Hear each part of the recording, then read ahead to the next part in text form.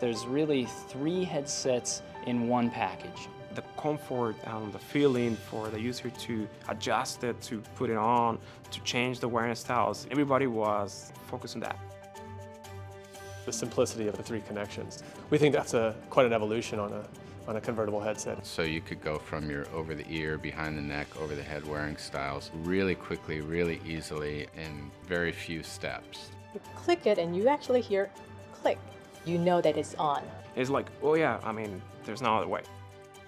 You just can't have an uncomfortable headset. To solve that, we have a 360 gimbaled headset. We were able to make that work with all three wearing styles and find this the sweet spot for comfort. But it took us up to a year to get that done correctly.